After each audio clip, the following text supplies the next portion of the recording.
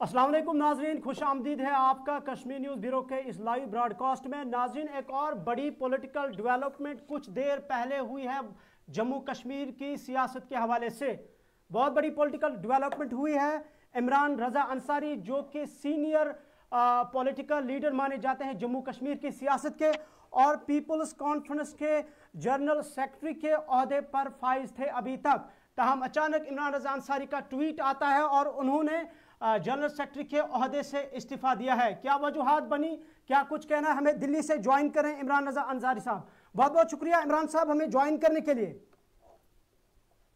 जी बहुत बहुत शुक्रिया। इमरान साहब आपका ट्वीट आया है पार्टी के अहम अहदे से आपने रिजाइन किया है। हालाँकि पीपुल्स कॉन्फ्रेंस जो है ग्रोइंग इस वक्त स्टेज पे थी।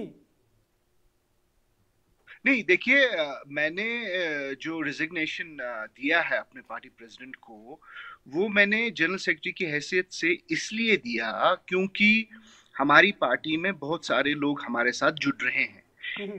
पार्टी डेमोक्रेसी के लिए मैंने ये कहा अपने सजाद साहब को कि चूँकि अब काफ़ी लोग हमारे साथ जुड़ रहे हैं हम ऐसा करेंगे कि हम सबके लिए मैदान ओपन रखेंगे जब लोग ज्वाइन करेंगे और जब हमारे साथ मिलेंगे और जब टाइम आएगा तो उस वक्त सबकी कारकर्दगी देखकर बाकी जायजा लेकर जो अहदे देने होंगे वो उस वक्त सजाद साहब को हमने मुख्तार किया है कि वो उस वक्त देखेंगे।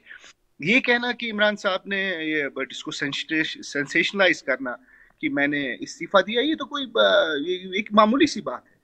मैंने पार्टी के लिए आपने जिस स्टेज पे इस वक्त पार्टी के एक अहम अहदे से इस्तीफा दिया है जनरल सेक्रेटरी के अहदे से और इस वक्त पार्टी जो है ग्रोइंग स्टेज पे है काफ़ी जो जिस तरीके के हालात बने पाँच अगस्त के बाद और ऐसे मरहले पे ऐसे स्टेज पे एक सीनियर लीडर और वो भी इस अहदे से इस्तीफा देना ये कहीं ना कहीं पार्टी के अंदर बहुत सारी चीज़ें ज़ाहिर करती है।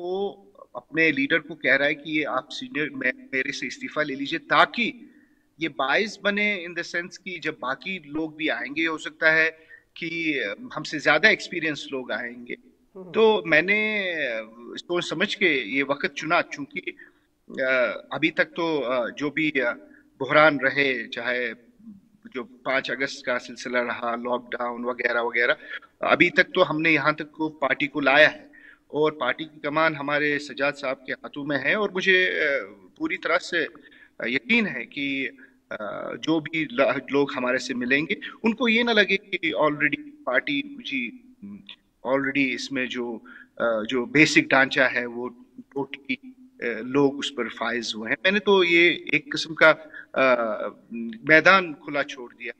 जो भी हम्म। हमसे जुड़ना चाहेंगे इस पार्टी में प्रोग्रेस है। और ये ऐसी बात नहीं है कि आपको जो जो भी आपकी रहेगी, जो भी आपका योगदान रहेगा हमारी पार्टी उसी हिसाब से आपको अच्छी जगहों पर नवाजा जाएगा।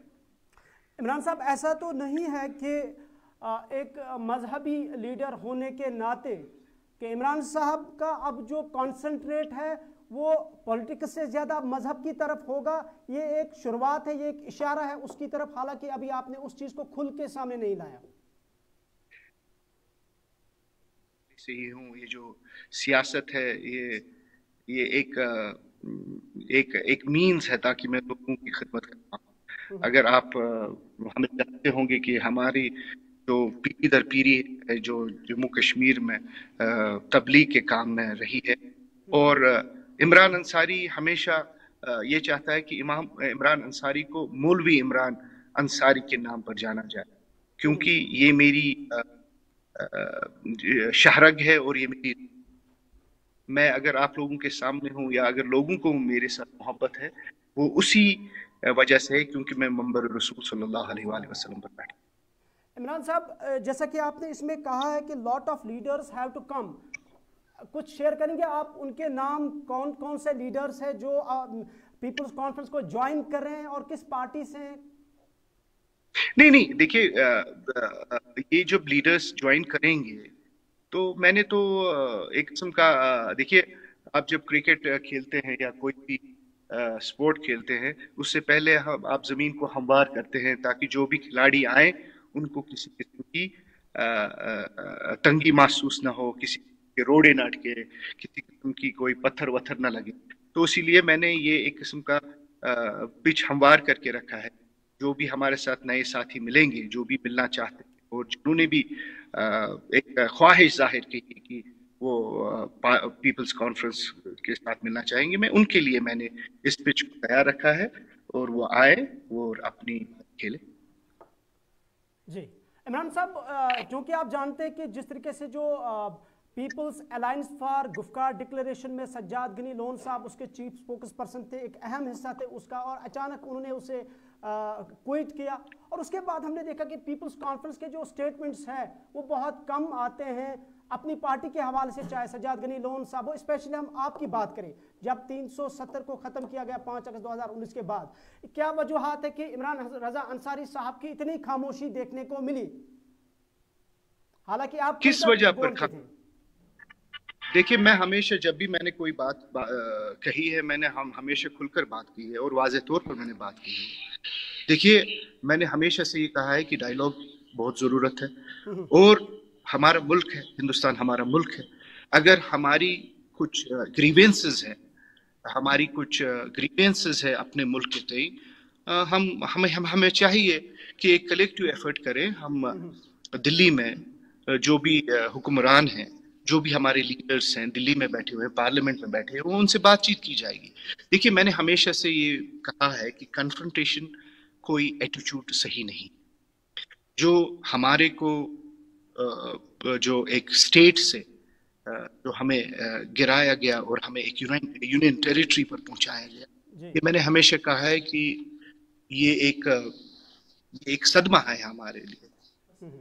तो यही मैंने हमेशा से ये बातें की। आप सोचेंगे कि मैंने कभी बात नहीं की मैंने हमेशा से बात की है। मैंने हमेशा से ये बात की है कि हमारे को चाहिए कि बातों से हम्म।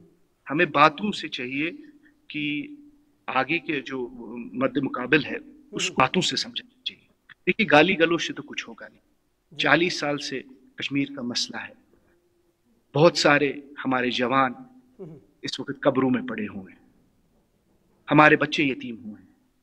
हमारी बहनें अपने शौहरों से महरूम हो। गई मैं मेरा मानना यह है कि दुनिया में भी आप देख लीजिए जहाँ भी दुनिया में इस किस्म की मुश्किल थे तो बातों से ही तो मसला साहब अगर आप खुद कहते हैं कि यहाँ पे खून खराबा हो रहा है हमारे नौजवान कब्रों में हैं हालात ठीक नहीं है तो इसका हल क्या है? अगर क्या डेवलपमेंट ही इसका हल है या कुछ और इनिशिएटिव लेने की ज़रूरत है दिल्ली से इस्लामाबाद तक और कश्मीर तक? क्या कुछ कैसे समझते हैं आप इस चीज़ को? क्या हल है? जो पाकिस्तान से जो जो मिलिटेंसी हो रही है उसको पूरी तरह से रोक लगना चाहिए। यानी आपका मतलब है कि जो मिलिटेंसी यहाँ पे ये पाकिस्तान की तरफ़ से यहाँ पे मिलिटेंसी को बढ़ाया बढ़ावा दिया जा रहा है। बिल्कुल अगर आप ये कहेंगे कि नहीं हो रहा है मुझे लगता है कि आप सिया पर्दा हमें दिखा रहे हैं। हम्म, हम्म। बात हकीकी करनी चाहिए। बात को घुमाना नहीं चाहिए। ये तो पता है। आप मुझे बताइए कश्मीर में कब बंदूक थे? ये बंदूक आया तो आया कहाँ से? देखिए यहाँ तो कोई फैक्ट्री नहीं है जहाँ बना दे। ये तो पता है पाकिस्तान से बंदूक आया पाकिस्तान से असलहा आया। पाकिस्तान को भी समझना चाहिए कि बहुत सारा खून खराब हो गया है। हमें अपने हाल पर रहने दीजिए आप अपने हाल हम हिंदुस्तान का हिस्सा इमरान साहब को कोई वे आउट नज़र आ रहा है कोई रास्ता दिख रहा है कि भारत बिल्कुल बिल्कुल देखिए देखिए। इस मूड में है कश्मीर के मसले के हवाले से? देखिए उनको करना पड़ेगा। आप देख लीजिए देखिए आपने देखा होगा कि तहवलात इस ज़िंदगी में कितने आते किसको पता था कि कोविड वायरस होगा? कोविड वायरस जब हुआ और उसके नतज क्या हुए? इकोनॉमी कितनी खराब हो गई। जो पैसा की जो पाकिस्तान इधर हिंदुस्तान अपने जम्मू कश्मीर में आतंक फैलाने के लिए जो इस्तेमाल कर रहा है जो पैसा जो यहाँ बहा रहा है उनको चाहिए वो पैसा अपने लोगों पर खर्च करे उनके फलाह बहबूद पर खर्च करना। जी। तो मेरा मतलब है कि अगर इंसान पहल करे देखिए सबसे बड़ी पहल ये तो ये है कि इंसान जब सोता है उसमें आरज़ू होती कि मैं सुबह उठूँगा। जब वो सुबह उठता है तो वो देखता है कि मैं वाकन सुबह उठाऊं ऐसे ही हमें भी पहल करनी चाहिए और हम अपने मन में आरज़ू रखनी है कि इनशाला एक सुबह आएगी जब इनशाला सब खुश बहाल होंगे। और मैं अल्लाह ताला से उम्मीद करूँगा कि अब हम थक चुके हैं। अब अल्लाह तबारक व से मैं दुआ गो हूँ कि हालात ठीक हो जाए। इमरान साहब, चलते चलते एक दो सवाल मैं आपसे पूछना चाहूँगा। एक ये कि अपनी पार्टी, चूँकि आप देख रहे हैं कि बहुत कम टाइम हुआ उनको मारद वजूद में आते हुए, अब उनका सिंपल दावा है कि यहाँ की जो पॉलिटिकल पार्टीज़ रही है या जो उनके लीडरान रहे हैं, उन्होंने सत्तर साल से या आखिरी तीस सालों से जम्मू कश्मीर के लोगों का इस्तेसाल किया है, बेवफाई की है, यहाँ जो हालात बने हैं इनकी वजह से। तो उन पॉलिटिकल लीडर्स में और उन पार्टीज़ का हिस्सा आप भी थे, क्या क्या कहेंगे आप अपनी पार्टी के इस दावे को? देखिए जो भी अपनी पार्टी में है, वो कोई नया नहीं है। वो भी इसी सिस्टम का प्रोडक्ट है। अगर आप देखें उनके सीनियर लीडर से पिछले 40-50 सालों में हम्म। से वो सियासत में है। ये कहना कि पीछे के लोगों ने किया वगैरह मैं सिर्फ़ दो लोगों का इस चीज़ का ठहराता हूँ। जो। दो पार्टियाँ जिन्होंने जम्मू कश्मीर में हुकूमत की वो मसले कश्मीर के जिम्मेदार है चाहे वो नेशनल कॉन्फ्रेंस हो चाहे कांग्रेस हो। क्योंकि यही दो पार्टियाँ रही हैं जिनके हाथ में हुकूमतें थी। चाहे कोयलेशन थी या क्या था लेकिन वो हुकूमतें चला रहे थे। तो अल्ताफ साहब से मैं कहूँगा कि ठीक है आप तो ये कहते हैं कि ये है लेकिन हम सबको अपने गिरेबान में झांकना चाहिए। हम सबको अपने आप में देखना चाहिए कि जब हम इकतदार में होते हैं तो हमारा रवैया क्या होता है। देखिए मैं एक चीज़ बताऊँगा कि अगर हक पर हम चले अगर हम हक पर चले, अगर हम हकदार को उसका हक पहुँचाए, मुझे लगता है वो सबसे बड़ा दवा होगा सरजमीन जम्मू कश्मीर की। आखिर पर इमरान साहब, ये बताइएगा कि जिस तरीके से कुछ दिन से कंट्रोवर्सी चल रही है वसीम रजवी के हवाले से, जिस तरीके से उन्होंने एक जाहिलाना और गुस्ताखाना स्टेटमेंट भी दिया है और कदम भी लिया है जो नाकबिल कबूल और नाकबिल बर्दाश्त है पूरी उम्मत मुस्लिमा के हवाले से। आप एक मकतबा फ़िक्र के एक बहुत बड़े आलमी दीन हैं मजहबी लीडर हैं। क्या कुछ कहेंगे आप इस पूरे मसले के हवाले से? आपको एक बात बता दूँगा। आ, मैंने ये कल भी कहा है कि ये जो ये वसीम रजा है हम्म, ये एक आदमी ऐसा है जो कि बिल्कुल जाल मुजिल है। इसको बिल्कुल मुझे नहीं लगता है कि इसको कोई भी इतला है कुरान के बारे में। और दूसरी बात मैं ये कहना चाहूँगा कि मुझे लगता है आमत मुस्लिमीन के लिए मेरा एक मोदबान एक मोदबाना अपील करना चाहता हूँ। हम वसीम रजा को किसी भी डिस्कशन में ना लाए क्योंकि एक ऐसा शख्स है। हाँ वही जो वसीम क्या है मुझे पता भी नहीं है। देखिए अभी तक आप देख लीजिए ये सोचने की बात है अभी तक हमें पता नहीं था ये कौन है। अब उसने एक ऐसा जाहिलाना ऐसा गुस्ताख आमेज बकवास किया है कि अब सब जानते हैं। और यही ये चाहता है ये चाहता है कि ये डिस्कस हो ताकि इसका नाम सुर्खियों में आए ताकि इसका नाम हर एक आदमी जाने। देखिए, कुरान के लिए मैं एक चीज़ कहूँगा। कुरान में सूर्य हजर की आयत है नौवीं नंबर, जिसमें अल्लाह ताला खुद फरमाते हैं, नहना, इन्ना नहना नज़र ज़िक्र, नहना लहू लहाफिजून। मैंने ये ज़िक्र, अल्लाह तबारक ताला फरमाते कि हमने ये ज़िक्र नाजिल किया और इस ज़िक्र की हम हिफाजत करने वाले मैं और आप ये आसमानी किताब है। ये आसमानी किताब है और ये आइन है उम्मत मुस्लिमा के लिए। जी। तो पैगाम क्या रहेगा? आपको बहसीत एक सियासी और मजहबी लीडर के होने के नाते कि जो कुछ लोग इस हवाले से उम्मत के अंदर बिलखसूस शिया सुन्नी के अंदर वो तफरुका डालने की कोशिश करते हैं बिलखसूस ऐसे मलून लानती लोग वसीम रजवी जैसे। देखिए मैं आपको एक बात बता दूँगा ये तो ऐसे लोग हैं जिनको कि उनकी अपनी नस्ल का पता नहीं है। तो जब हम इन लोगों को हम जब डिस्कस करते हैं तो इनको इससे थोड़ी सी प्रोमिनेंस मिल जाती है। मैं तो कहता हूँ इस सब्जेक्ट को छोड़ दीजिए। ये तो कोई सब्जेक्ट ही नहीं है। जी। ये कौन? ये मलून आदमी छोड़ दीजिए। इसका नाम भी नहीं ले लीजिए। आप क्यों अपनी मुबारक जबान से जिससे आप अल्लाह का नाम लेते हो उससे आप इस वजीब मलून का नाम लेंगे। छोड़ दीजिए इसको। It should not be discussed चले इमरान साहब बहुत बहुत शुक्रिया हमें अपना कीमती वक्त देने के लिए। बहुत बहुत शुक्रिया बहुत बहुत शुक्रिया। नाजिन किराम बहुत बहुत हमारे साथ दिल्ली से ज्वाइन कर रहे थे हमारे साथ इमरान रजा अंसारी जो कि पीपल्स कॉन्फ्रेंस के सीनियर लीडर हैं और जनरल सेक्रेटरी भी थे तहम उन्होंने अभी ट्वीट किया जिसमें उन्होंने पार्टी के जनरल सेक्रेटरी के अहदे से इस्तीफा दिया है। क्या कुछ वजूहत बनी उन, इन्होंने?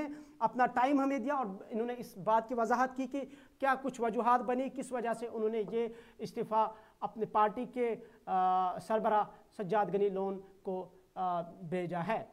आप देखते रहें कश्मीर न्यूज़ ब्यूरो, हमें दीजिए इजाज़त। अल्लाह हाफिज़।